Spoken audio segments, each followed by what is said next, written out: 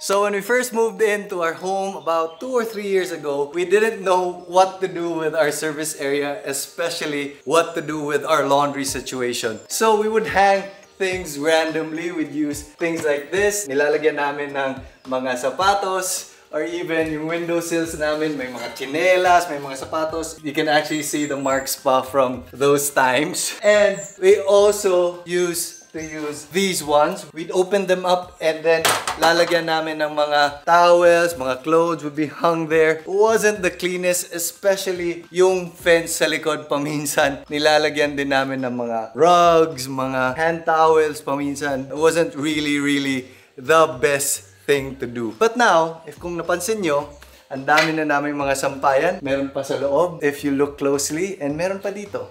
Now, these are all a lot of different types of sampayan and I've managed to have a good amount of experience. So that is what we're going to talk about today. Which one is the best sampayan for you?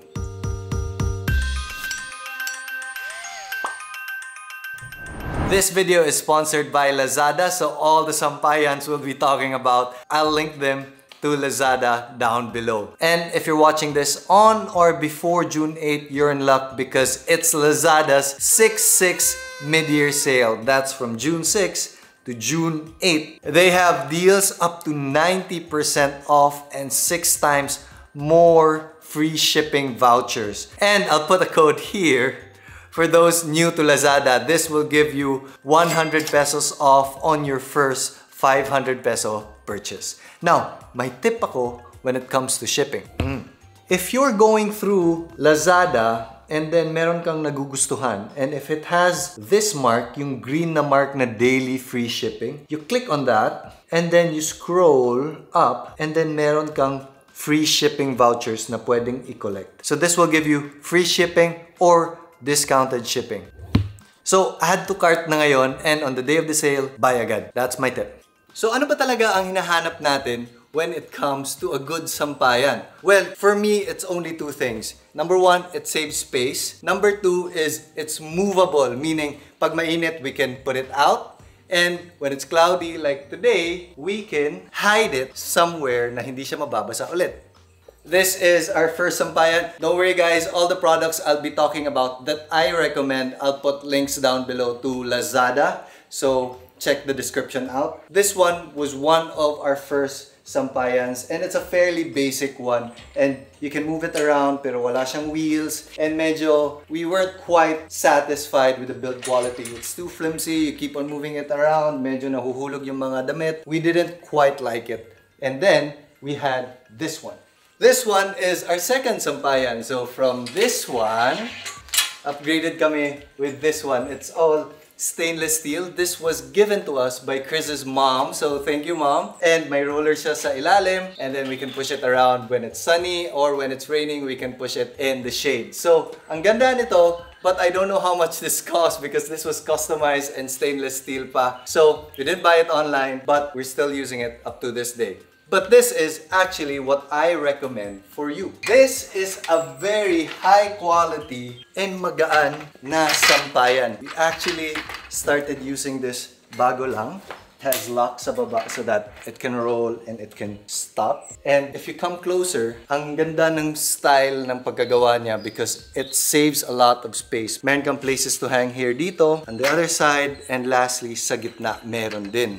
The beauty of this is that it has a good attention to detail. I don't know what it's made of. I think it's aluminum na powder coated, so I don't think this will rust. Pero meron pa siyang gasket on the hole. Ang ganda because when you first get it, ganito siya. And this will tend to like scratch the hangers or maybe masisira. So, ang ganda na attention to detail na meron siyang gasket. And meron pa siyang hidden trick. So, kung may konting kulang ka pa, pwede mo ilalagay dito.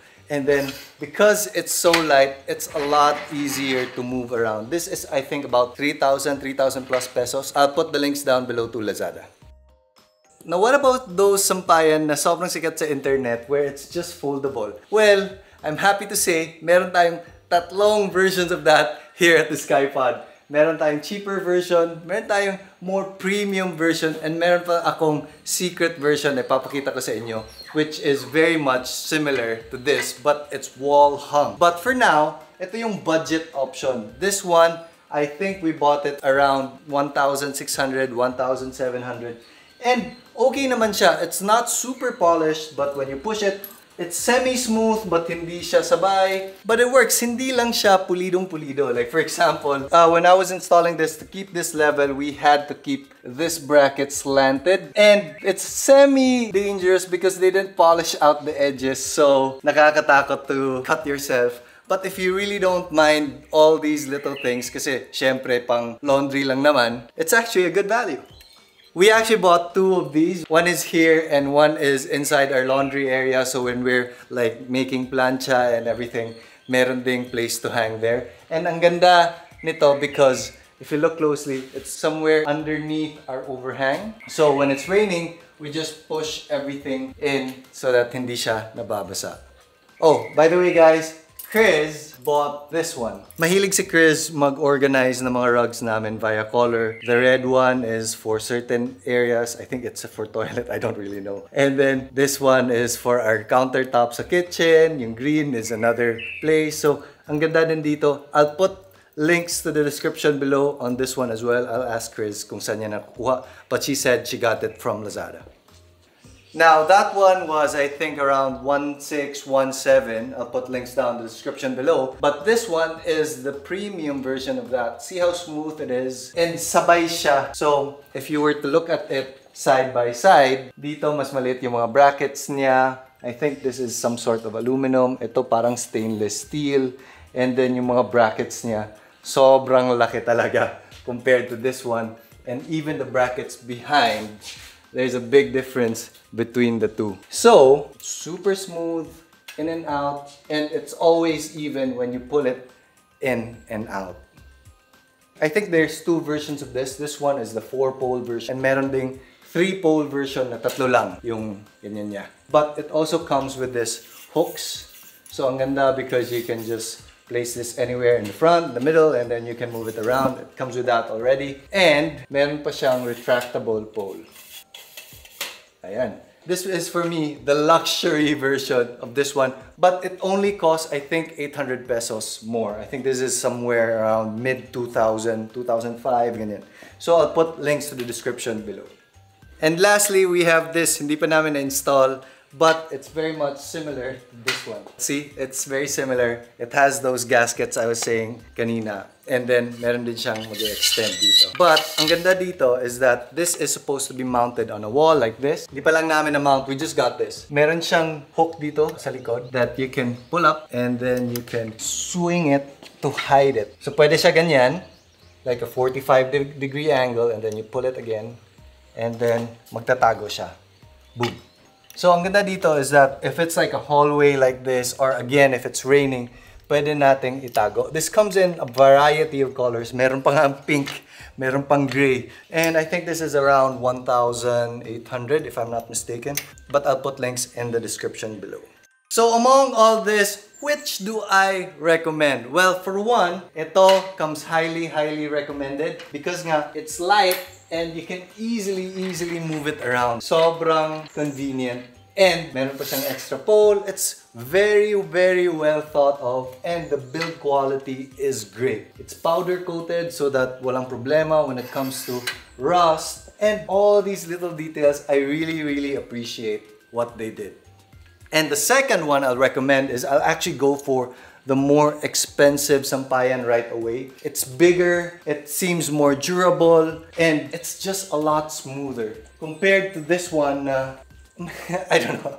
Medyo maarte lang talaga siguro ako. Pero, see, when I push it, hindi sabay. But if you're on a budget, this works naman pa rin. Hindi naman siya problema. But this is a lot bigger and this is just about 800 pesos more. So, I think it's well worth the extra money. Okay guys, that's it for our Sampayan tour. I hope you enjoyed it. All these items have been very, very helpful for us. Dati kasi sobrang puno talaga ng service area namin. And I hope it will be helpful for you as well. I'll see you later.